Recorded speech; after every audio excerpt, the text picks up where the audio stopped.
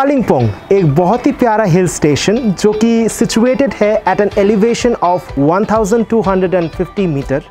पर क्या आपको पता है, पहले कालिम्पोंग और टिबेट जो कि आज चाइना ने एक्वायर कर चुका है, इसके बीच में एक ट्रेड रिलेशन हुआ करता था?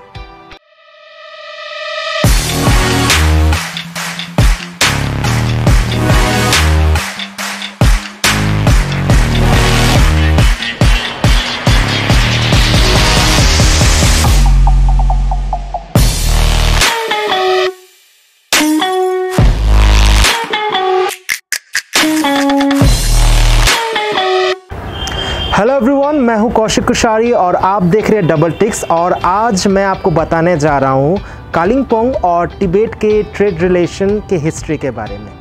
पर इस इंटरेस्टिंग हिस्ट्री को जानने से पहले आइए जानते हैं आज कालिंगपोंग किस चीज़ों के लिए फ़ेमस है। सबसे पहले आता है एडुकेशन और दूसरा टूरिज़्म एडुकेशन के मामले में कालिंगपोंग बहुत ही हाई रैंक करता है all over India as from international border जैसे कि नेपाल, भूटान, बांग्लादेश जैसे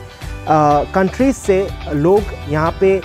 finest and quality ICSC education लेने हैं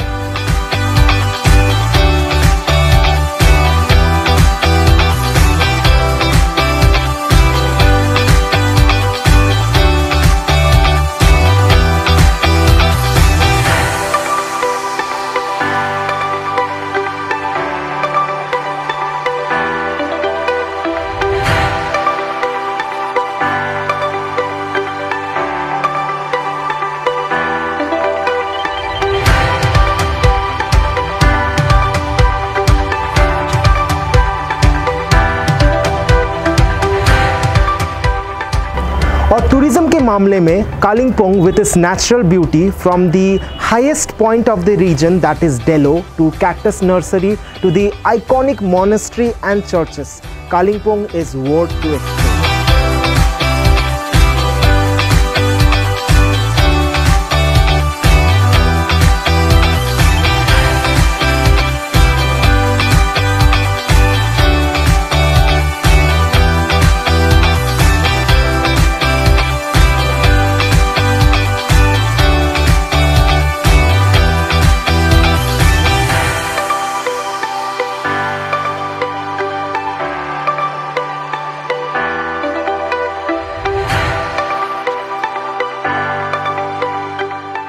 Kalimpong की कई स्पेशल अट्रैक्शन में से ऐसी एक स्पेशल अट्रैक्शन है in Kalimpong Mela ground in every year of fifteen August जहाँ पे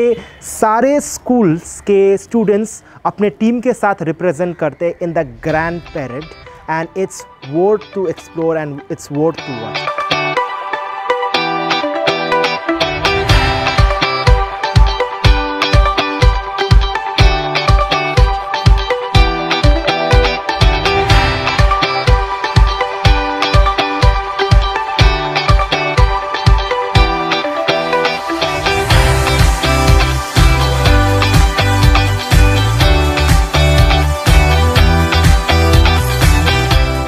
Now coming to the history क्या आपको पता है before the Sino Indian war Tibet and Kalimpong had a huge trade relation due to its close man border. In the town of Kalimpong, Bengal, a hundred mules are being saddled for the start of one of the strangest convoys in this war. Tibetan muleteers have their own way of fastening 150-pound packs with raw hide. This is the stepping-off place for the mule track route to China. Medical supplies and other essentials traveling through the buffer state of Sikkim, which separates Bengal from Tibet, and into the perpetual snow of the Himalayas. The severe nature of the journey demands that the mules be used for one round trip annually. They're then rested for 12 months. The first time Kalimpong को mention किया गया था in a headline of one of the most popular newspaper in People's Daily article in March 1955 stating the trade relation of Tibet and India. On March 25 in the same year, Chinese Trade Agency was founded in Kalimpong क्योंकि ये बहुत ही important role play करने वाली थी in the three countries that is China Tibet and India trade relation was flourished in this time लेकिन जब Sino Indian war शुरू हो गया the system was formalised and the border need to be shut down दो reasons दिए गए. For shutting down this border number one ये था कि जब टिबेट को चाइना ने कैप्चर कर लिया था तो टिबेटन रिफ्यूजीज कालिंगपोंग को बेस बना के एंटी चाइना मूवमेंट को शुरू कर दिया था। और दूसरा, सबसे बड़ा रीज़न ये भी था कि इंडिया को ये पसंद नहीं था कि चाइना इंडिया बॉर्डर में इंटरफेरेंस दे। इसी दो रीजंस के वजह से ये ट्रेड रिलेशन और जो कालिंगपोंग और टिबेट रीजन में जो ट्रेड रिलेशन का बॉर्डर था, उसे बंद करना पड़ा। So coming to the present lastly what if आज भी अगर ये मैन बॉर्डर खुला रहता between India and the China occupied Tibet the situation could have been different which are as follows international trade relation और भी ग्रोथ करती और कालिंगपोंग रीजन्स और उसके साइड बाय साइड रीजन्स में इंफ्रास्ट्रक्चर फैक्ट्रीज और एम्प्लॉयमेंट अपॉर्चुनिटीज़ और भी ज़्यादा बढ़ जाती जहाँ Kalimpong would be the major base for the major import and export from Tibet to India example देके समझाना चाहूँगा, जैसे कि हमारे इंडियन रीजन ऑफ़ जयगांव और भूटान रीजन ऑफ़ फुलिंगस्टोंग में आज बहुत ही ग्रोथ ऑफ़ ट्रेड रिलेशन देखा जाता है, जहाँ पे मेजर इंपोर्ट और एक्सपोर्ट के कारण से दोनों रीजन्स को बहुत ही हाईली डेवलपमेंट मिल रहा है। वैसे ही आज अगर हम देखा जाए तो कालिंगपोंग और चाइना एक्वायर टिबेट में ट्रेड रिलेशन बढ़ जाती तो कालिंगपोंग का भी आज ग्रोथ एंड डेवलपमेंट और भी ज़्यादा होता ये एक फास्टेस्ट मैन बॉर्डर होने के कारण जो डिमांड और सप्लाई है as well as the transportation में कॉस्ट कटिंग बहुत कम हो जाती है जिससे कि हमें गैजेट्स सप्लाई बहुत ही और कम दामों में मिलती नथुला पास आप सभी को पता ही होगा, जो कि कॉरिडोर है between India and China border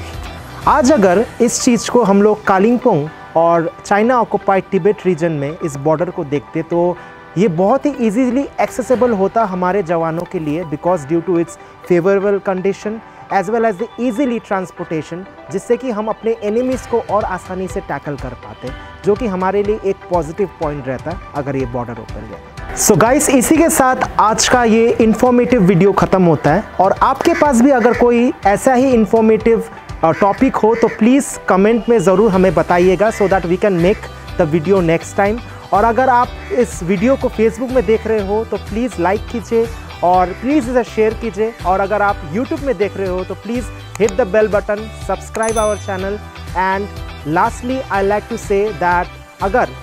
आपको और भी इंफॉर्मेशन जानना है तो हमारा और एक वीडियो हमने बनाया है about our place Siliguri. So आपको यहाँ पे मिल जाएगा इसके डिस्क्रिप्शन में। So you can just watch it and enjoy. Thank you so much.